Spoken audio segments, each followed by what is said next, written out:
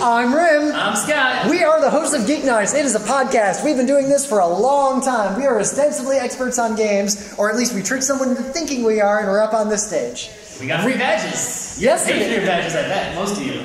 Yesterday, we did a panel called The 40 Tabletop Games You Should Play. You might have guessed it's the same people who are back here to do the 40 games you must play. Rym is responsible for the clickbait panels. I do the non-clickbait Hey, panels. clickbait titles get people into the room. No one wants to That's come right. to When I do a high quality panel, not in clickbait, no one comes. We do like right. the real harm of games. No one wants to hear about the bad things games might be doing. They want this stuff. So let's see what this panel is. First off, these are not the best 40 games. I do not want to even try to make a list of the best 40 games. Also, is that even possible? We are not the authority on the best 40 games, especially not two white guys. And these are not the most important 40 games. We're not going to tell you to go play King's Quest 1. You probably shouldn't go play King's Quest 1. Seeing the screenshot is enough.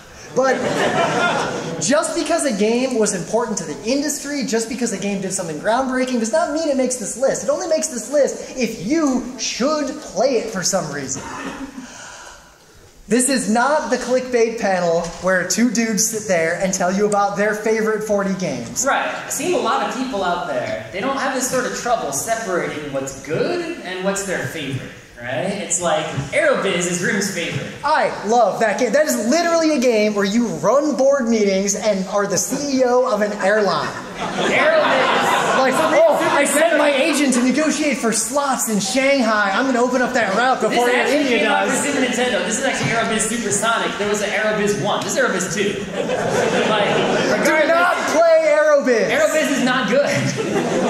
right? So we some at least believe that we can separate what we like from what is actually good. There are going to be games that we put on this list that we believe are good, even though we personally don't like them, right? And that's just how it is. We're not going to talk about a lot of recent games because they haven't stood the test of time. Look at anime as an example. You may love Neon Genesis Evangelion, you may hate Neon Genesis Evangelion, but you got to admit, people are still talking about Neon Genesis Evangelion, and there's a reason for that. Same thing with Quite a few reasons for that. There are. But we're not going to talk about games that have come out very recently because it's very easy to overestimate the importance of a game you like that just came out. This list is in a literal random order because I don't care who wins in a fight between Batman and Puerto Rico the board game. Right. Basically, what's going to happen is I'm going to see I'm going to see games appearing on this screen, and then I'm going to think of what to say. I don't know what order he put the slides in. In fact, we are also going to miss a lot of games because I do not need to tell you that StarCraft exists. Also, we're only here for an hour, and I'm not talking any more than an hour.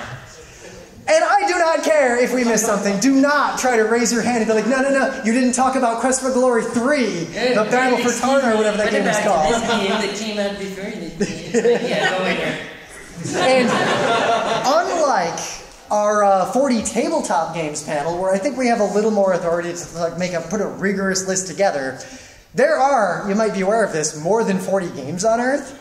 So it is really hard to make a comprehensive list of games, even 40, that would cover a wide variety of genres. So this list is completely arbitrary based on our gut intuition. Right. There is going to be, I guess, some amount of overlap with yesterday because tabletop games are games. I I actually made a very specific point of not overlapping with the panel we did yesterday. So if you were here because you saw us yesterday, we're not going to talk about that many of those games. More than zero, though. More than zero.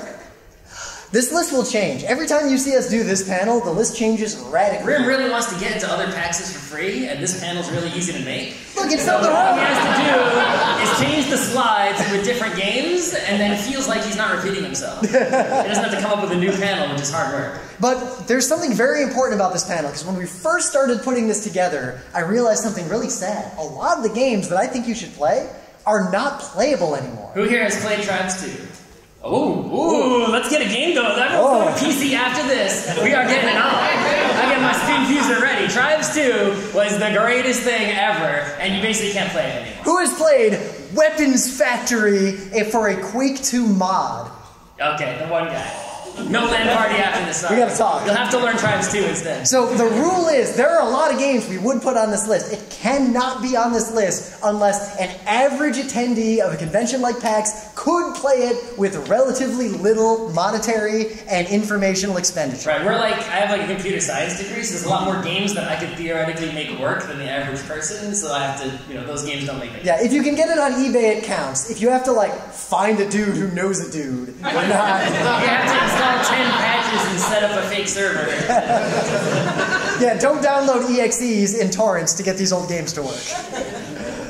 Uh, but the important thing, the, the whole reason we do panels like this, is that one of our shticks with our podcast GeekNights is that we want people to be like cross pollinated. If you're a nerdy like gamer person, we want you to also check out anime and comics and computer science and all that stuff. And in games, it's real easy to just be that person who plays Magic. You've met a lot of those people this there are people who came to this PAX, they're hanging out on that top floor of the Regency, the seventh floor, and they're playing Magic all weekend. And that's great, Magic is cool, right? But that's not really what GeekNights is about, right? So the idea is we want you to play all kinds of games. Games you're not used to, all, you know, games that, you know, you might hate, even you should play them anyway, just to see what the deal is, so you understand them. And then, when you go to play games you like, and you encounter new games, you go, ah, this is like that game I played before, and slowly you reach the expanding brain and the galaxy brain. and- You become not just a gamer, but a player of games. Let's get right into it. Dance yeah. Dance Revolution. to this day, is probably one of the best rhythm games ever made. And the reason I say that is that there are a lot of rhythm games that are just Tekken or something. Eh. Yeah, there are a lot of rhythm games that try to be real, full-on dancing. Eh, It's some the matter of, you know. They're less game, they're more subjective. Dance Dance Revolution is this magic mix of it is a real skill-based game that you can have tournaments in, and it is closer to dancing than you might expect. Right, when, you, when I first saw this, I said, wow, that is the stupidest thing I've ever seen. I will never do that.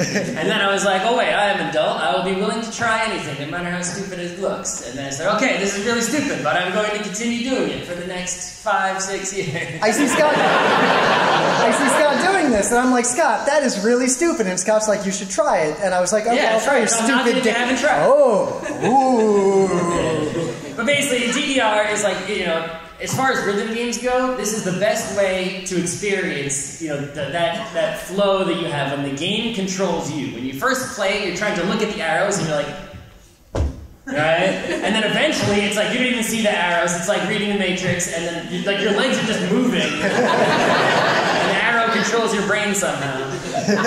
So you, you know, you want to learn what that feels like.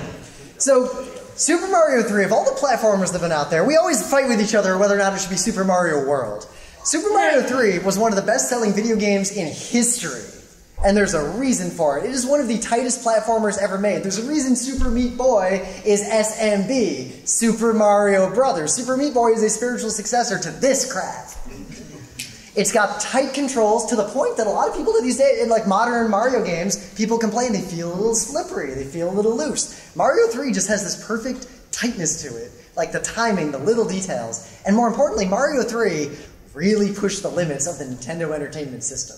If you play this game and you look at what other Nintendo games looked like, like in that era or earlier Nintendo games, that really shows you the power of a good programmer.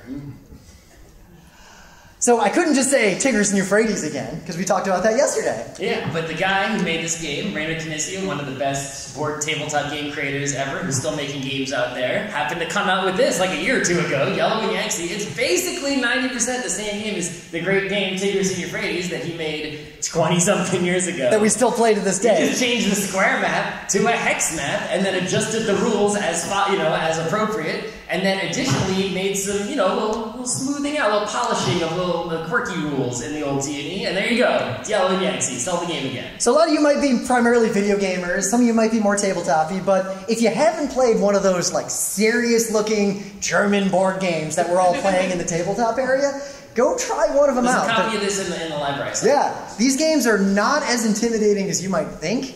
These games are why we are good at all games. These games, there's a lot to these games, and you really do yourself a disservice if you don't at least try them. Skip the Munch games and all those other tabletop games. Try one of these meaty ones. If you need a meaty one to try, check that game in particular out. Play it with four people, and you might discover a whole new world of gaming. Hmm. So, I like to say that Chrono Trigger was both the height and end of a genre. Hmm. Like, people have been trying to make a spiritual successor or a direct successor of Radical Dreamers for a long time, and no one succeeded. No one has been able to capture this despite an entire industry desperate to make a sequel to this game. I mean, Why this, is game, this game is like the perfect storm of JRPGness, right? You have the Akira Toriyama artwork going on, right? You have the Super Nintendo bringing it into full power finally to make something big like this, right? You know, the different endings, all that kind of stuff, right? But the real reason I think this is up here as like the JRPG to play is because most JRPGs are like unplayable grind fests. You can't, you don't have time for that I love you, Final Fantasy IV. Right. I You love don't have time for that. Right? Most people seem to be adults here. I see some younger people, but it's like you just do not. There's no reason to waste your life grinding and leveling up some character or whatever. Chrono Trigger, you can run past most encounters without having to fight. Yeah. Right? It's just like all those quality of life things that nowadays would be seen as like a luxury. It's like this game had all of them.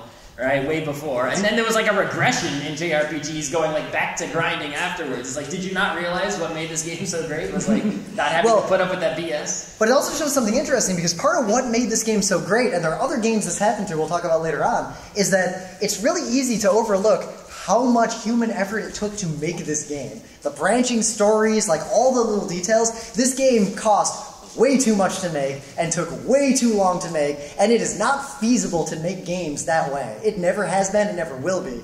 This game was a unique product of its time, and nothing will ever be like it again until AIs can just make games for us. AI, make me a Chrono Trigger. please.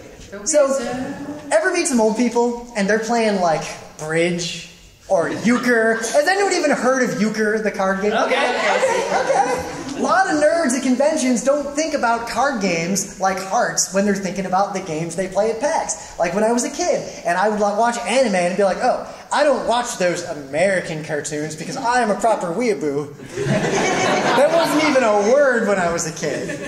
So don't look overlook these old style trick taking games. And if you want to see why like why they're fun and why people play them and what the deal is, Fantasy Wizard is the way to get into that world. Right, now you could get regular old wizard, just grab yourself a deck of cards. I think you have to add maybe like a few jokers to it to like, you know, turn it into enough cards You to need play four wizard. Zauberers because it's a German game, so those Zauberers are Zauber I need four Nars to be like the anti-gesture wizards or whatever. But you need a little few more cards than 52 to play. I think you need 60 cards. Yep. But if you get my fantasy wizard, you get this amazing artwork with on it. The best part about this game is we have a friend, his name is Scott Johnson. He looks exactly like one of these cards. Yeah, the two. He's the two of humans. It might as well be his driver's license.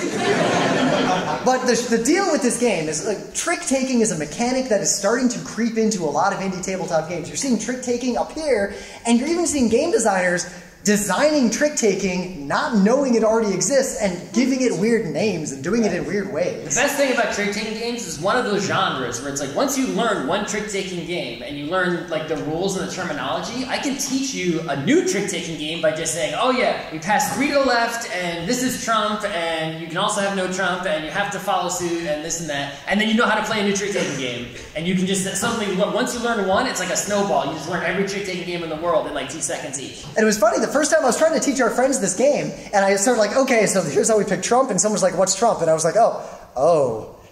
I actually, and I, it's like I had to teach all these things that I'd never even considered being in a rule book before. I just, I knew them when I was born, I guess, because I was born in Michigan. But yeah, Wizard. Wizard is like, you know, the, the reason we pick Wizard is not only because you can buy this fun deck of cards, but because it's just really easy, it encompasses all the mechanics, and it has a lot of replay value. Right? Other Some the trick-taking games They are- involve cheating and stuff like that you don't want. Yeah, euchre is only fun if you cheat. So, there's a reason. There's a reason Counter Strike is still being talked about, and that's because there's a reason Steam exists. You may forget, many of you may be too young for this. Steam existed solely to patch Counter Strike. Well, I don't know, a lot of people raise their hands for Tribes 2. Ah. right? But yeah, back in the day, when you wanted to play Counter Strike, you had your Half Life that you installed from a CD-ROM, and you would go to counter-strike.net, you click a link, and there'd be a list of mirrors that was like five pages long. And you, You click click- on eight of them until you find one that works. You would download a file, run it, and it would install the Counter Strike mod into Half Life. And then you know Valve was like, man, this is really awful experience for everyone, and they created Steam, and all Steam did was update Counter Strike. We did. We, they didn't do anything. It didn't have a store. It was just a Counter Strike update. we did a panel back in like 20, not- 2009, 2010 at PAX West called "Egregiously Unrealized Potential," and we were talking about like genres that are forgotten or like things people don't talk about. We had this beautiful slide. I still have a screenshot of it, and it shows the top five games being played on Steam in that year. Number one was the new Counter Strike. Number two was the old Counter Strike. Counter Strike is really important because it's actually really fun and it's basically the same game, just being like updated slightly as time goes on. And it's still a competitive esport. It's still real. You should at least see what the deal is. What other game has lasted this long as like a competitive as, Yeah. as all the other like Quake? It's like gone, right? And it's also a very pure and focused experience. It does one thing very well, like very specific kinds of gun drama. So it's a little bit the new hotness. Uh, but I, I'm on the stage. I'll It's say not, this. it's not too soon to say. In my professional opinion, this is the best Zelda game ever made. I'm just gonna say it. I'm just gonna say it because this does what they wanted to do with Zelda 1. This evokes the feelings that they were going for with Zelda 1. Technology just limited them. Yeah, I mean, I still like I feel in my heart that like Zelda One is still the real best Zelda, but it's like I think back to when I was a kid and I was like, yeah, I was just burning every bush, Yeah. bombing every rock. I memorized the, I know that map better than I know the map of like New York City where I live, right? But I see new people trying to play Zelda One and they like don't even know what to do, and it's like, mmm, that's the problem. Yeah. And it's partly game expectations. Like, I had very different expectations of games back in the NES era. So, in the modern era, this game gives kids and just adults and really anyone today the same feeling I got when I was a little kid and I put that gold cartridge in my NES for the first time, not even knowing what to expect. This game is a triumph. And the other thing about this game is that it made every other open world game look like garbage. so, Mm-hmm. Metroidvanias have been a popular genre for a long time, and people really focus on the Vania side of that, and they kind of forget the Metroid side of that. Yeah, I mean, if you look around, you know, since the, a lot of indie games keep trying to make Metroidvanias, right? There's like Hollow Knight, which is pretty good, right? What's some other ones? There's I mean, Shadow Bloodstained. Ritual of the Night is actually good. Yeah, so. that's good, but it's more of a Symphony of the Night than a Super Metroid, right? There was a Shadow Complex thing that was really good, but really small, right? And it's like, even after all these years, much like with the Chrono Trigger situation, it's like no one's still really beaten Super Metroid at its own game, not even other Metroid games. Super Metroid, if you just play it on an emulator today, or you have an NES, SNES, it feels like a game that might have been made by an indie developer today. Like, it's a pretty tight experience. That is pretty rare for SNES games. But yeah, if you you know you've probably seen people play Super Metroid, maybe you know you've probably heard of it, but it's like it's surprising how many people haven't actually sat down and beaten this thing. It's kind of hard actually. It's like surprising, like you don't think it's that hard because you know you just walk around and shoot guys. It doesn't seem like too many bad guys, but like even professional people playing this game die a lot.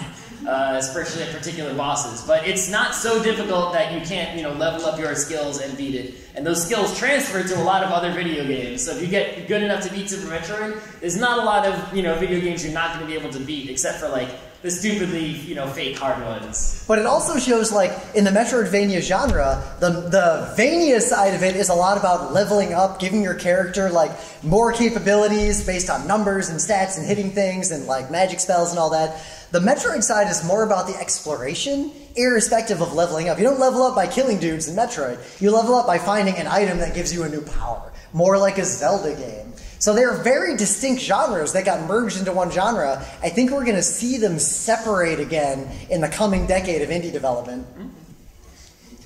Sumer is a way to experience what it feels like to play this old PC game called Mule, crossed with a German board game like Yellow and Yangtze on a Nintendo Switch. Right. So we so we beta tested this game. It's not like the greatest game in the history of the world, but it is super duper unique. I've never seen a game do what this does. This game Sumer, this little indie game, which is it's been at PAX before, I think, mm. yeah, in the in the expo hall, is basically a board game, except there's a real time component. and they've just implemented the real-time component as platforming. Real time worker placement. Run to the spot you need quickly. Right. So whereas like you play a board game and it's like maybe like Agricola if anyone knows that game. It's like I choose like you know get sheep. I choose make a baby. You take turns. Here it's like all right everyone one two three go and you run and one person's running for the wheat and another person's running for the goat and another person's running for the you know bath or whatever it is. Right. And then I'm just alone, like, oh, oh, crap. Right, and if guess I'll stuck, take- and it's like I guess I'll go to the bakery. It's left. I don't know. I don't have any meat though. It also does the thing that Mule did, old PC game, but this idea of we have these auctions, you're like bidding on a power. And the auctions are real time too. You just drag your slider of how much you're willing to bid, and you see everyone else's sliders in real time. And everyone's just moving their bids like this constantly. You're pushing up, pushing up. The last second you fall back, and the other person pays a lot more. Yeah, the timer runs out and then that's what everyone pays. It's real fun. There's the nothing, currency is good, by the way. there is nothing else like this. Yeah, there's no other game like that. So it's Dig Dug. I wore a Dig Dug shirt today, and I wore a Dig Dug shirt yesterday. we uh we if like Dig Dug a any lot. Dig Dug shirts I don't have, let me know. Dig Dug 2 is pretty good as well, but we're talking about Dig Dug. Here's the deal. Most old arcade games, not actually that fun. No, and a Not lot of them, actually that good. And a lot of them that are fun are only fun in like a very short window, right? It's like you play some Space Invaders or some Missile Command or something like that, right? And it's like, all right, all right, this is fun. And you level one, you level two, and it's like it's the same level over and over. And there's not a lot. Once you get good at it, it's like I saw a guy breaking like an asteroids world record, and it's like you literally would go and play some asteroids to get a bunch of lives, then like walk away, go to the bathroom, eat lunch, take a break, and then come back to it, and you'd still be alive. It wouldn't be game over, and then you play some more, get the score up, right? And it's just like this endurance thing with all most of those old games, right? How long can you keep going? How long can you keep the score going up? Dig Dug has lots and lots and lots of nuance, and there's not a lot of endurance because you're going to die. Yep. Even if you're good at this game, like 15, 20 levels in, you're going to reach your limit unless you are a professional. And it, there, it's like other games you just learn a few techniques. In Dig Dug, it's like it's surprising how many higher level techniques you can learn as the game goes on. It's like at first you're waiting for a guy to trap him under a rock. Then you're pumping guys to pause them underneath the rock and then releasing the rock, right? It's, it's, it's Then you're kiting like eight guys at the same time on both sides of you with like. you're getting your you're tricking guys to come to the bottom of the board because there are more points if you kill them down there. So this is the game to play if you want to really experience what old arcade games were like without playing all the bad ones. So how many of you have played Dungeons and Dragons? Most of them. How many of you have played an RPG that is not Dungeons and Dragons and not Palladium and not uh, Wait, any why D20 White type Wolf? thing? Not uh, Pathfinder. Pathfinder goes down. Okay. I've we seen still any people out there. And yeah, but basically most RPGs out there are basically just D and D with some different name on it. Pathfinder is D and D, right? It's the same freaking game, right? You're in dungeons, you have stats. It's mostly about killing monsters and leveling up and all that stuff, right? Burning Wheel is the RPG that made me realize, oh, that's not what all RPGs have to be. Yep, this nerdy dude by the name of Luke Crane was at some dumpy convention in New Jersey, and I was walking by his table, and he's trying to get me to play his indie RPG, and I really did not want anything to do with this guy. But I sat down, I thought, okay, what is it? D and D with D30s? Like, what have you figured out? And then I had an experience. So I came back and like Scott, there's a game other than D and D, and Scott was like, bullshit. I was like, no. I was like, I've seen those other games. I've seen the GURPS and the Rifts. I don't have to go anywhere near those. We don't have time to get into like the deal with this game because we're trying to talk about 40 games. But I'll put it this way: here's an example of how this game works. You know, in D and D, you write your backstory. My uncle was Kelvin Blackstaff, and I am a half elf with gold flecked purple eyes, and no one. Well, that's your that. backstory. That's everyone. That's, that's a lot of people. Someone, someone else writes a backstory like that. I know you're out there. Yeah, I see you. I see you. And no one cares about that because that stuff does not translate into the stats on your sheet or any of the rules of the game. It's just there. In Burning Wheel, you can say your character's Harry. That doesn't mean anything. Whatever, he's Harry. If you spend points on him being Harry, he's Harry to the point that it matters. You write the word in the trait section on your character sheet. You write Harry, and then later in the game, it's like, oh, you're, you're yeah, uh, a snowstorm comes in, and you're trapped out in the cave. It's getting cold. I'm Harry. I'm fine. I guess you get plus one on your plus one, uh, you know, dice on Here's, your roll. here's another example. You're writing your backstory. Kelvin Blackstaff is my uncle, and the DM's like, yeah, sure, whatever. In this game, if you spend points, Kelvin Blackstaff is your uncle. That's it. You bought it. it's like he's yours. You're in a town. It's like, oh, I go into town to find Kelvin Blackstaff in this town, and it's like you're the player, and you're saying that someone's in the town, and you roll the dice, and the dice will say whether he's in the town or not. And if you fail, well, he's not in the town, but maybe someone else is. But here, here's the nuance. Here's where you can see why this RPG is so amazing. It costs 15 points to buy someone like Kelvin Blackstaff to be your uncle. It costs 14 points if he hates you. Because you play D&D. Failure is way more fun than success, and this is an RPG that embraces that. Move around a little bit. Joking. We were at a party a few years ago, and the kids were like, all, all our friends' kids started playing tag. And we were like, oh, we'll play tag with you. And we started getting a little competitive, a little serious. And then we scared the kids away, and now it's a bunch of 30 year olds running around playing tag.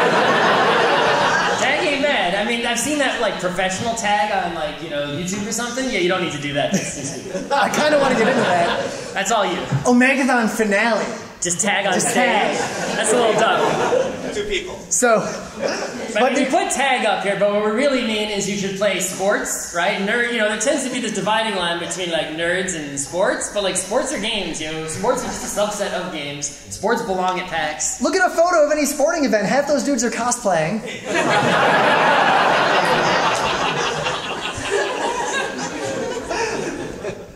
But the other thing is, we played two games this weekend that were board games that had a mechanic that we both recognize because we do a lot of game design consulting and stuff. And we're like, that's just a no tag backs rule. Ooh, tags rules are pretty elegant when you think about it, and especially if you look at the advanced no tag back rule and if you understand why that is a rule. All right, here's a weird indie Japanese. Why couldn't you put the picture in the middle of the of the slide? Because I, I updated these slides like last night. Okay, good. So, here's the deal. This is a cooperative trick-taking game. We already like a talked co-op about trick-taking games. Yeah, but this is a co-op trick-taking game. You're all trying to beat the board, but you still can't talk to each other. You still can't cheat like you would in euchre. You've got to play tricks and buy the cards you're playing, like in trick-taking games, imply to the other people at the table what they should play so you achieve the correct outcome.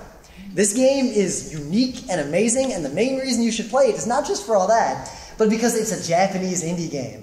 The Japanese indie tabletop scene is exploding right now.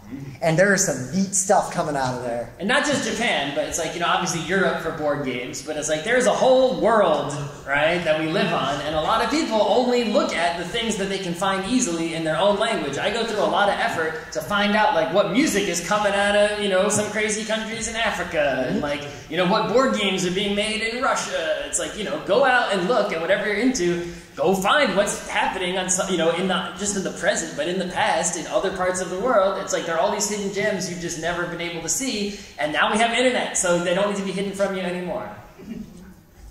So, this is the only good WarioWare game. There are a lot. So if you don't know, this is the GameCube WarioWare. There are many other WarioWares. This is the one. And there's a big reason for this. This was the era when Nintendo, I think, was the most innovative they had been in a long time. When they made the GBA Link controller to connect Game Boy Advances to GameCubes, and they made like four ultimate gaming experiences, and then they just gave up on that for like 15 years. I don't know why we can't like have four switches with one TV and have the same thing going on. I, I don't know why either. But here's the deal this is the only WarioWare that has actual, real, serious, good multiplayer, and it is amazing. Right, the Wii had multiplayer, but it was garbage WarioWare multiplayer. You don't want that. The We don't have time to- Is where it's at. We don't have time to really explain the mechanics of like why this in particular, but what I can say is that this is a party game that does what you expect modern Mario parties to do, but they never really deliver. This is the game that actually delivers that experience. And you don't have to spend four hours like you do with Mario Party. And it is real easy to get a GameCube and find a disc of this game and just make it work. It is well worth your effort. Mm-hmm. Alright, so who here likes trivia games? Anybody? Not too many? Oh, okay, some number of people. But the thing with trivia games is that if it's trivia that you know, or the whole group sort of has, you know, you know it enough, then it can be fun. But if you bust out Trivial Pursuit and it's like, oh, who acted in this movie in like 1970 something? It's like, you don't freaking know. No, it's boring and stupid, right? You either know or you don't. So the way to make a good trivia game is to make it where anyone can play no matter how much they know. Someone who knows everything can play it and enjoy it, and someone who knows nothing can still play and enjoy and score some points.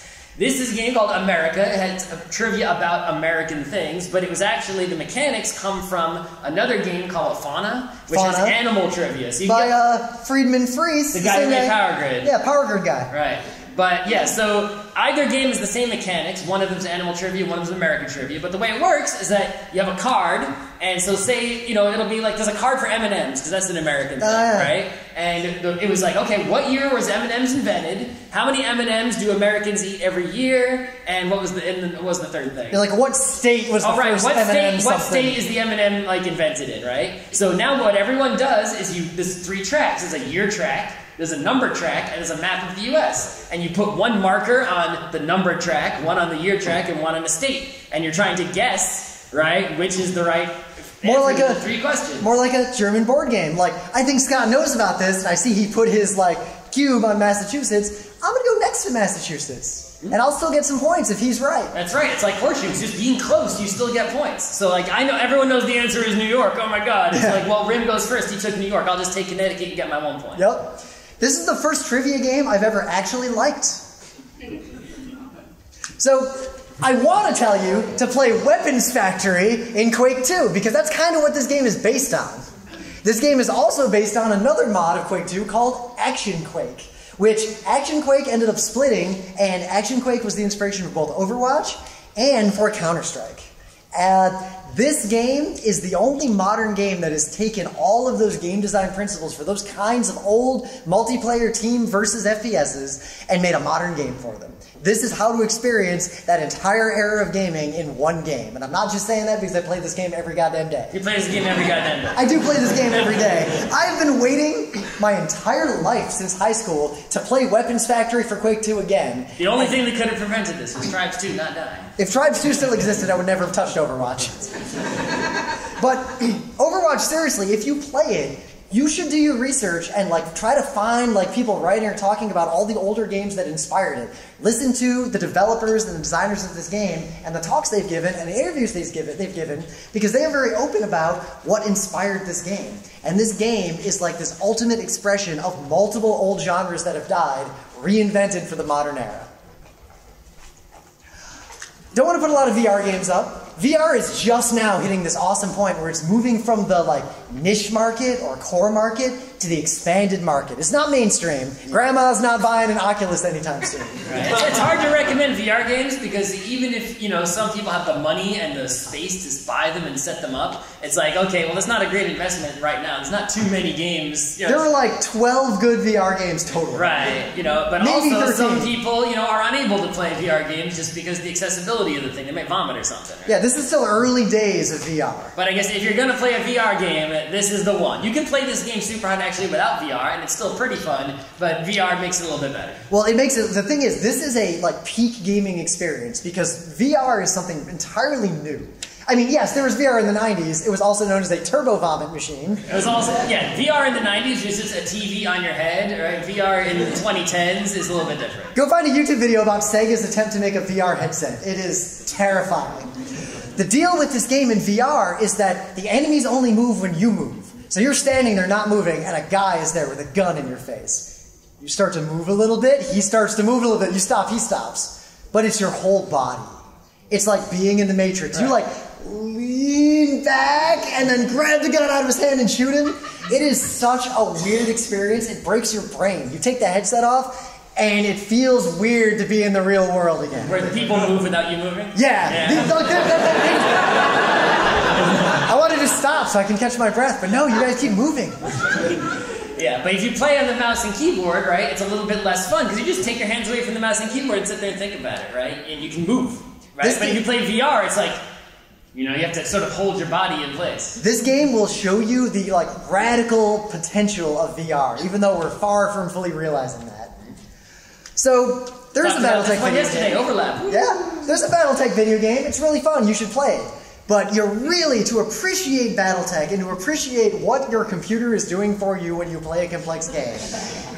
You should fill in all these little dots when your leg gets shot and then roll on a table to find out if the ammo explosion kills you. BattleTech, you know, we said this yesterday, but most of you weren't here yesterday. BattleTech is like the most complex tabletop war-ish game that you can actually reasonably play. It looks scarier than it is. Most of the game is just roll 2d6, look at a table, it tells you who you, if you hit, where you hit, and how much you hit, and then you have fun filling in bubbles. And then the best part is after you fill in the bubbles, because that's when all the storytelling happens. It's like, oh, you got hit in the arm. Well, how much damage to the arm? Oh, that much? All right, let's roll some on the. Oh, your arm fell off. It's on the ground.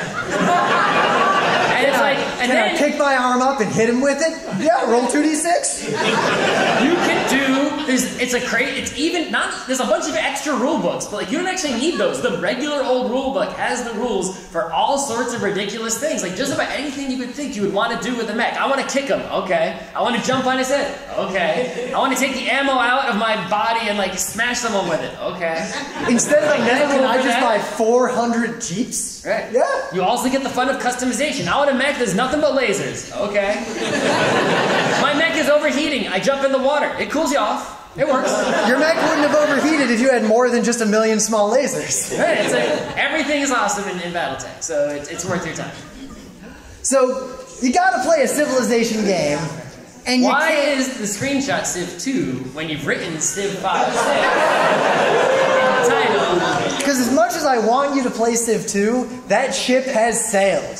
I found my Civ 2 CD-ROM the other day. Oh, I uh, pirated Civ 2 when I was a kid because I didn't know you could pirate software. Someone just gave me a CD and I was like, oh, cool, a game. Civilization 5 was a complete, radical, real, like, redesign of Civilization games. If you haven't played a Civ game since Civ 2, uh, let us never speak of Civ 3 or Civ 4. Civ 4 is okay. It's- Yeah, Civ 3. Civ 3 is the worst. I have no son. Right. But Civ 5 or 6, they're both really different from each other. Like it's wor- like I have a Civ 5 game going on and a Civ 6 game going on both right now. Yep. Right? Civ, this is what's fascinating. Civ 6 did not replace Civ 5. You think of most games, like a game comes out, then there's Call of Duty 2, Call of Duty 3, Call of Duty 4. You kind of replace them as you go on. Civ 5 and Civ 6 are both equally fun games that are very different, and you play them for different reasons. But the game I really want to talk about is playing these games with other human beings. That is a completely different experience. Right, so the AIs in all these Civ games are not the best. Even though they've been better or worse over time, you really get the game going when you play it against only other human beings and no weird AIs messing up your game, right? Now, in the game, they have some built in mechanisms to let you do this. They've always been flaky, garbage, breaky, not good. They even just added play by cloud to Civ 6. It doesn't work that well. 100%. I play a lot of Play by Mail Civilization. In fact, I have a game I'm in right now There's that's going. games he's in right now. See- Oh, no, and then it says all games five. Okay. I am in a Civ, Civ 5 game that I've been playing for more than two years. Because I take a turn every few days, and I've just been doing this for I just a long wake up time. in the morning and my computer, there's little pop-ups that say if it's my turn, I take my turn, it takes five minutes, and then that's it. But Really with, a game, with a game like this, the first point is that when you're playing with human beings, you can talk to them like human beings and have intrigue and politics. And our friend fucking Scott Johnson got the entire world to ally against me, Good. and then the entire world came upon my shores and destroyed me one day. Good. The AI is never going to pull that off. But two, you play these games like single player, and you kind of blow through turns, and you start to get like you don't pay attention that much. When you take one turn, and that's the only turn you're taking that day, you click on all the things you wouldn't normally click on. You look inside your cities. You play the game with a lot more care. You understand the game a lot better, and the game is a lot more fun. Decisions matter a lot more when you're playing slow with other human beings. You can also do what I do, which is take your turn, don't push the next turn button, think about it, push load, take the turn again, think about what's going on. I refuse to do that because I am. Uh, I, I pride. optimize my turn perfectly by redoing it over and over. I have I pride and right. confidence in my abilities. Yeah, I have pride, and so I make sure I win. But if you want, if you want to play Civ 5 multiplayer, use this tool called Giant Multiplayer Robot. It's on the internet. It's free. It just And if you want to play Civ 6, you have to use a different tool called Play Your Damn Turn. Which is also the name. That's the name of it. Yeah. It's also the name of a panel we're going to probably run at PAX Unplugged. Hopefully, Teach you how to no one a will come fast. looking for Civ 6 because that won't be us. So I don't need to Why tell did you. you put that no one can play this? Yes, they can. It's on Good Old Games. You just get it. This game's Good Old real easy to get. Okay. So, there's a lot of adventure games. Like I don't need to tell like Sam and Max games. They come back. That genre. All those point and click adventure games of the olden days and the newer Telltale ones. Yep, they come, those now. that genre got reinvented a million times. They're back. You can play them. Of all the types of adventure games that were on PCs in the early days, the Quest for Glory series was the weird one. It was different. It was unique compared to the SCUMM games, every other kind of adventure game. These games were very open world. Every problem has multiple solutions. The games are shockingly complex, and kind of like Chrono Trigger, no one has ever made adventure games again like Quest for Glories. And I say that even knowing that they remade, that they made Quest for Glory 5. Quest for Glory 1, 2, 3, and 4 are like this, not a dead end, but like it's an evolution of gaming that just sort of stopped for no reason. And I think this is a genre that is ripe to be brought back that would compete very strongly with the kinds of adventure games we're seeing today. And just no one's done it yet. So of like watching an old experimental movie from like maybe the 60s, and it's mm. like, how come no one's made a movie like that in the last 50, 60 years? This Yeah. is super old and has like invented something crazy that no one's ever taken on. How So, that of the four of these games that were made, that one too is probably the best one to play. It's a like you can play it with a modern sensibility. It's not like the adventure games you're thinking of, like where you have to take the banana and shove it through the door, and that's how you solve the puzzle to kill the Nazi. Like it's weird. Everything makes sense in this game, and that is kind of amazing for an old PC game. Oh, Hearthstone. Hearthstone. Yeah, so I mean, there's a lot of these, you know, magic-ish games out there, right? You know, you play cards, you collect them, you customize your deck, you follow the meta, things change, right? Hearthstone is A, the cheapest because you can just play for free. You don't need to friggin' pay money unless you want to win, which you don't really need to because you're only going to play this for like a week or two, right? uh, but the thing that Hearthstone does that none of these other games I've seen do is that it knows it's a digital game, right? If you play Magic Online Arena, right, that is still based on real magic. It's still good. It's a, it's a great way to play magic, but it's based on real magic. So all the cards are cards that are from the real world. They are cards that you can use in the real world. Hearthstone is like, yeah, this card in your hand transforms into a different card every turn. This card plays a random card from all the possible cards in all of Hearthstone when you play it, right? Oh yeah, you add 20 cards to your deck out of nowhere when you play this card. It does all sorts of crazy things that are not possible in a physical card game, right? It's only in a digital card game can these things happen, and that's what the insanely fun part comes from.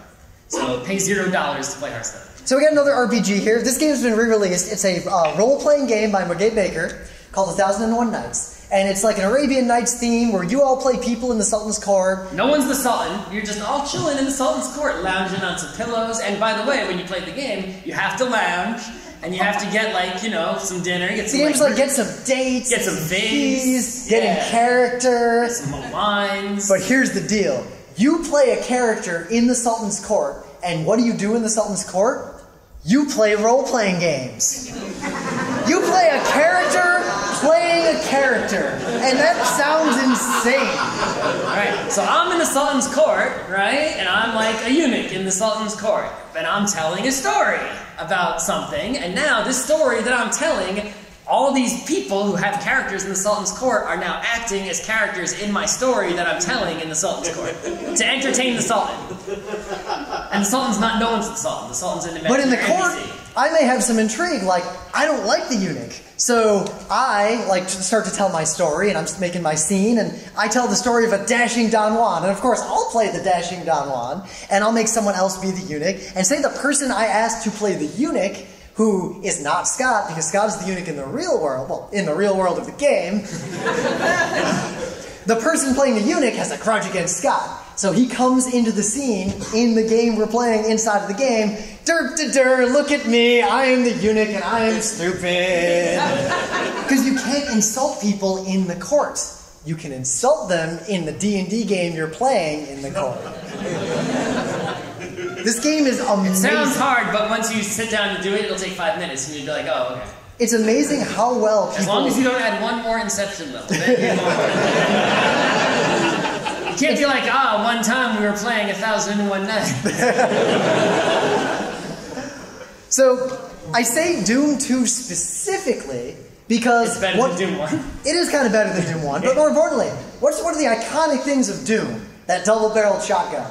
That wasn't in Doom 1. That's the main reason Doom 2 is better than Doom 1. Doom 2 was made to include the double-barrel shotgun. Doom 1, one barrel. Doom 2, two barrel. But yeah, Doom is, you know, historic, it is remembered, it is like legendary because it's amazing. It's surprising how many people haven't played Doom. It's not that hard to play. I mean, guess there was a period of time where in order to play Doom, you had to like, get a WAD file and install a thing. But now Doom is on the Switch. Yeah. You know, you can go to Steam, double click, and play Doom. And because it's only 2.5D, it's not actually three dimensional, it's fine to play without a mouse and keyboard. Like the controllers work You don't fine. actually have to look up and down. If the imp is way up high, you just shoot at it and the rocket will just sort of go up. It's really easy. but the best thing about Doom 2 is that it's completely different from all the modern FPSs you may have played in two ways. Number one, it's fast. Really fast. Not quake fast, but still crazy fast. You'll die fast, you run fast, you shoot fast. Yep. And also, there's bad guys just everywhere. It's like sea of bad guys. It's not like, you know, you're, you're sort of dodging and trying to shoot one guy. It's like, no, you go in a room, It's like a hundred demons. Yeah. And you mow them down. Serious Sam tried to recreate some of those elements, but it didn't get all of them. It's Serious Sam was more dodging a hundred guys, Yep. where Doom is more shooting a hundred guys. Doom 2 is like legit worth playing and fun to play today. I bought it on the Switch so we could review it, and I caught myself kind of just playing it pretty late into the night because Doom 2 is a really fun game. The other thing that Doom 1 and 2 have that has been lost in more modern FPSs is the maze-like quality that comes from Wolfenstein 3D, which predated Doom, right? It's like all those FPSs, Do- Wolfenstein 3D, Doom 1, Doom 2, were about mazes, trying to find the exit in this crazy, weird freaking map that makes no sense. And then after that, they tried to make maps based on sort of like real-world locations that make sense and you don't get lost. And also, if you think like game modding is a relatively new thing, this was the first real FPS because Wolfenstein was more of a puzzle game than a first-person shooter. Shooting was secondary to like the other Wolfenstein parts of 3D was really mostly the maze with a little bit of shooting. This was a lot of shooting and a maze. But there was a huge modding scene around this game, and people were making crazy mods even back then. Also, mazes are fun. Mazes. So, we were talking about sports. Jungle Speed is a tabletop sport. A very dangerous tabletop sport, which has recently become more dangerous. Yeah, you flip cards around, and eventually a thing happens, and then you gotta grab that heavy piece of wood before someone else grabs that heavy piece of wood. And uh, I just want to point out, this is truly a sport. and what I want to point out is that this is on the Story Games discussion forum, and that is Jason Morningstar, the designer of Fiasco. In 2006, Jason Morningstar broke his friend's, friend's finger. His friend Adam, sorry. Yes, playing a tabletop sport. So Play yeah, sports. this game, there's a lot of copies of this in the H- Tabletop HQ library, but those copies will come with the rubbery dog toy totem for babies who don't want to break their finger. So if you're not a baby, you should go and buy a new Jungle Speed, which has recently been re-released with a wooden totem. I think also the French version never got rid of the wooden totem. So go.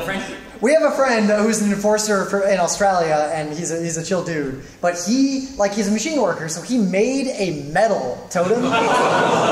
Don't do that. he broke his finger the first time they played, and then he vowed to never play with it again. Uh, if you want to have fun, you can also mod Jungle Speed a little bit. You're supposed to put the totem in the middle of the table with an equal reach of all players. But you know, some people got a long arm. The tables over at the Regency are like huge tables, not really good for Jungle Speed. Yep. Uh, just put the totem in like another room or something, and then it'll be all right. Just hi- leave the totem somewhere in the expo hall. All right, the cockroach poker, So, or uh, who here's- Kakerlakenpoker. Who here's played like uh, some some bluffing games, like say you like bullshit? You ever played that? With, like you know, yeah, right. Yeah. Cockroach poker is cockroach poker. Cockroach poker. Kakerlakenpoker. Right. This is the ultimate bluffing game. All you got is a deck of cards with eight different bugs, right? Eight copies of each, 64 cards. And you, all you do is you pick one, you slide that at someone, you're like, yo, this is a rat. No, it's not. Ah, it is. Crap. Now I gotta take it. Right. Oh, here's a bat. That's not a bat. Oh, it wasn't a bat. Take it back. Uh, right? And you think, oh, that's really simple. No, no, you play this game. The best part about this game is that you do all this bluffing and have a lot of fun, being like, it's a rat, it's a bat, it's a toad. At the end of the game, one person loses and everyone else wins. if you end up with four of the same bug in front of you, you lose and everyone else goes, woo! So if you got a bunch of sore losers you want to play with, or some kids who are all, you know, yappy or whatever, and they're getting upset when they lose, at least only one person will be upset and you can Yeah. all join together and like making fun of them. Can't tell a lie. This is an example of one of those games you can use to trick your like relatives who don't play games into playing a game that's actually pretty My good. My mom played this game right away. She got it right. It takes two seconds to explain the rules. It's just a deck of cards. You can carry it with you anywhere. Really good. Yup. All right. So I don't like Fortnite at all, but I, haven't understand it. I played PUBG though. Yeah, Fortnite, PUBG, all these games. There's a reason this is the biggest genre in gaming right now, and you really need to understand and play these games to see what the deal is. Because people, kids especially, are not playing these games the way you may think they are. In Fortnite, they're not that competitive. They hardly shoot at each other. They like hang out in Fortnite like it's a chat room. They, you know what they do? They do in Fortnite what we did with Command and Conquer 1. No rush 20 minutes. I want to build my base first. PUBG is like, I, I was almost going to say the thinking man's Fortnite.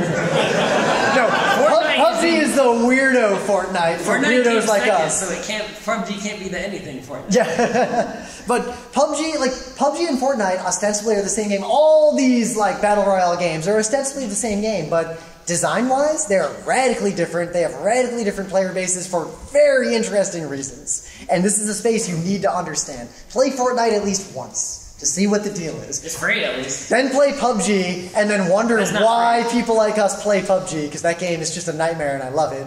PUBG, Fortnite is running around hitting people with baseball bats and screaming and yelling and flying through the sky. PUBG is hiding in the corner, trying not to breathe, hoping no one sees you for 40 minutes.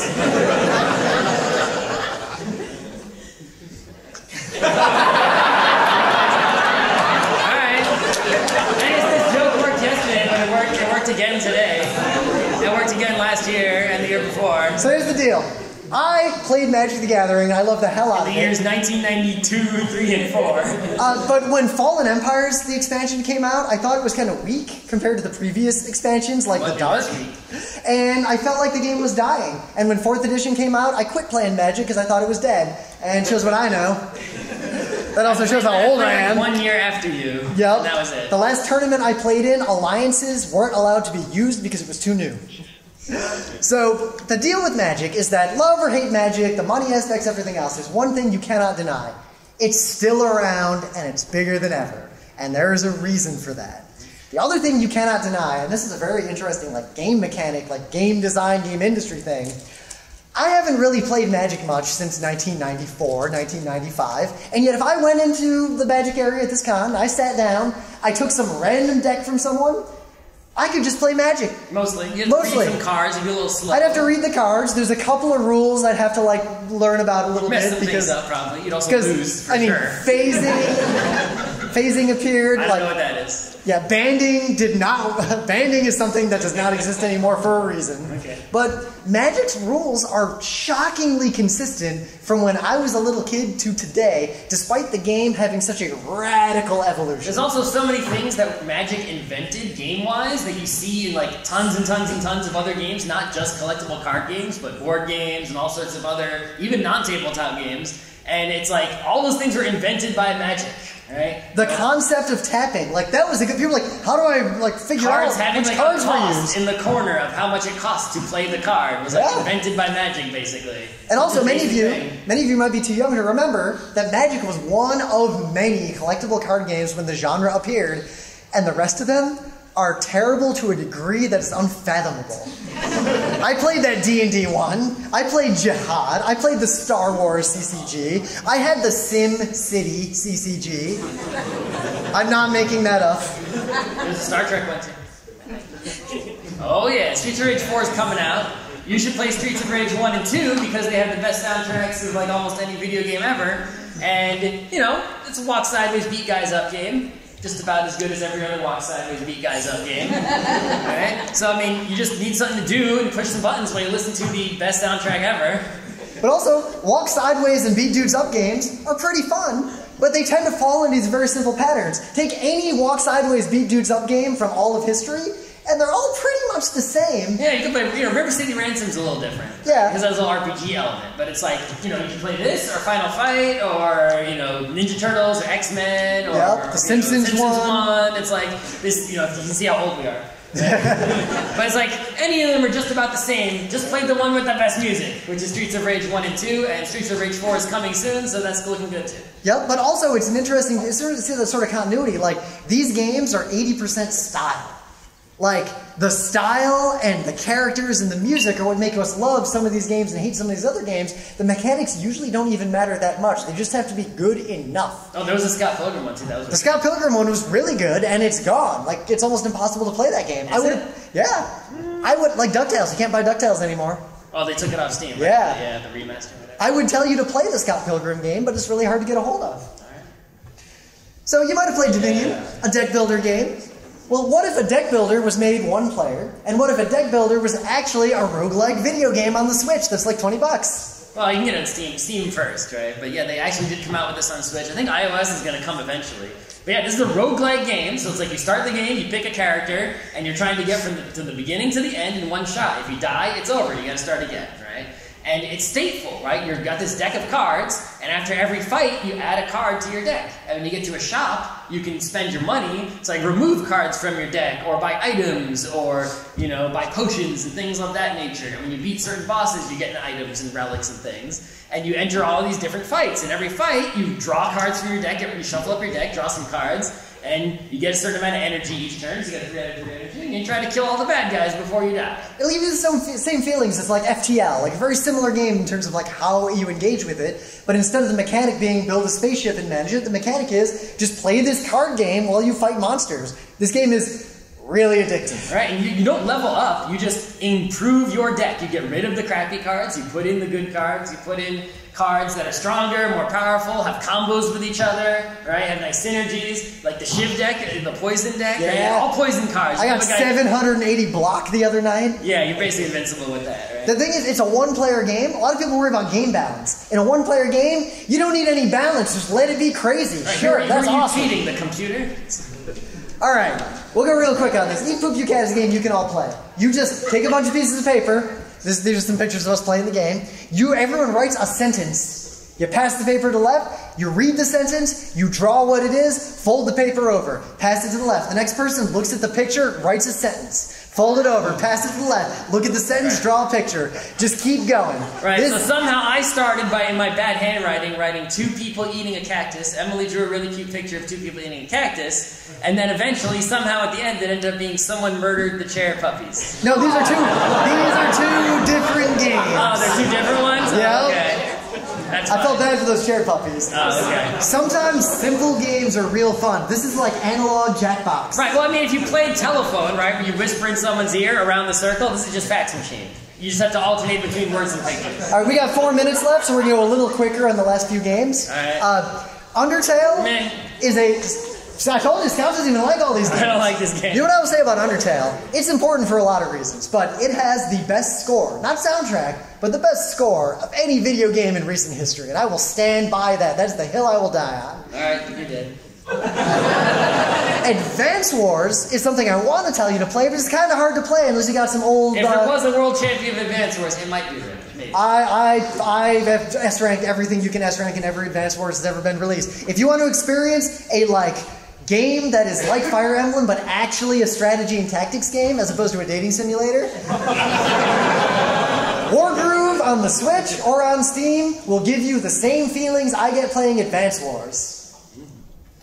Alright, so there are a lot of Mario Karts. I'm sure you've played whatever your favorite Mario Kart is. GBA Super Circuit Mario Kart is the one I played the most, and it's also the best one. And the reason it's the best one is because it's the only skill-based Mario Kart there is. If All you drive other- perfectly, If you drive absolutely perfectly, you drift around every corner, right? You don't mess up, you don't go in the dirt, you don't do anything stupid. The blue shell will hound your ass and never touch you. As soon as you mess up, oh, that blue shell comes. But as long as you drive perfectly, if you're the best driver, no number of blue, the red shell will just give up. You're like, ah, fuck. it." so if you want a real racing game with still having the fun of Mario Kart, get the GBA one. All right, three minutes left. Speed round. This is an NES game remade with modern sensibilities. It's amazing and unique, and there's nothing else like it. And pretend there are no sequels. it's an actual scary game. It is a horror game that says, you know what? Jump scares scare people. We're just gonna make jump scares. We're gonna do jump scares in a really interesting mechanical way, where the jump scare is almost the goal, so you can startle yourself as an adult who isn't afraid in haunted houses. This game is like a masterclass in limited player interaction design. Street Fighter 2 was I was like- gonna say it's the first one. It's the second one, but really it's the first one. games before Street Fighter 2. This is actually super duper Street Fighter 2 with all kinds of characters. The first one only had like, you know, eight or whatever Yeah. characters. But the point is, it was the first fighting game that actually had different characters to choose from that were all different. And that's why Street Fighter is still a big deal after all this time. This is poker designed by a game designer as opposed to history. Also with pandas and fun. Puzzly games like this, where it's versus puzzle, that is still to this day the best one other than Battle Balls, but there's no way you can play Right. Battle Of the non-Tetris puzzle games, too many of them are just panel de pon. Magical Drop is the real shit for the hardcore puzzle people. Backgammon. but here's the don't just play backgammon. Backgammon by itself, the way a lot of people play it, is a terrible game. You have to play backgammon with the doubling cube for points. We don't have time to talk about why. The doubling cube is how old men gamble in backgammon. The best reason to play backgammon is so that you can make friends with old men anywhere on the earth. That's a picture from that's a You picture from on vacation, you see some old guys, boom, you're in. But go read up the doubling cube. The way you gamble in backgammon was invented in the United States. Learn Like, also not that name- long ago. Learn the name for backgammon in the language of the place you are going. And last and least, if you want to go back to basics, you want to play an Atari game, Atari games are hot garbage. That is one of four really, really good Atari games. Pretzel Cowboy. Pretzel Cowboy. One of the best like two-player direct-person video games on earth. I legit love this game and will play it this day. We are out of time. I hope this was enjoyable.